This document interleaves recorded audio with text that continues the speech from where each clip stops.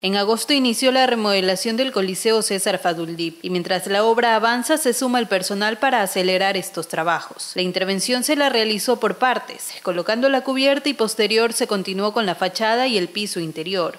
Sí, bueno, ahorita como podrán observar, este, estamos haciendo ya los últimos toques en lo que es albañilería, vamos a, ya lo que es agua potable, los sistemas, la red de agua potable, agua servida ya está completamente, ya la las divisiones, todo de los camerinos, de los baños generales ya están.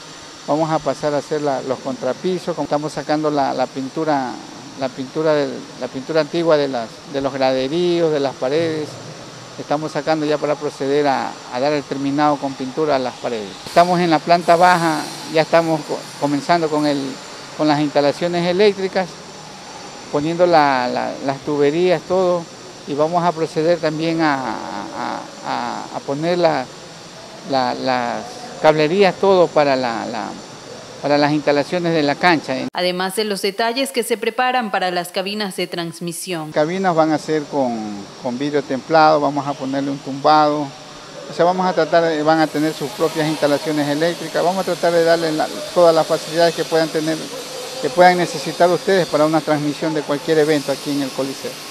El plazo inicial de la obra era de ocho meses, es decir, en este mes de abril debería estar concluida. Sin embargo, otras intervenciones extras se realizarán, por lo que la obra final para ser entregada se estima que sea dentro de unos cuatro meses aproximadamente. Estaba considerado, o sea, se veía, era el asunto de las rejas exteriores, de que no estaban, por ejemplo, hay que hacer el sistema de agua, hay que hacerle, hay que hacerle una, una cisterna, entonces, eso están en trabajos, en trabajos que hay que, que hay que hacer un contrato complementario para poder continuar con, con las obras.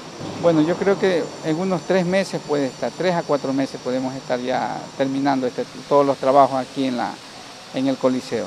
Y es que este coliseo que durante muchos años acogió a deportistas se prepara para abrir sus puertas y con ello la ilusión de que nuevamente se pueda disfrutar del deporte. Esperemos que ahora la liga cantonal realice los campeonatos necesarios para poder ir recuperando ese, ese lugar emblemático donde se practicaba el deporte de básquetbol.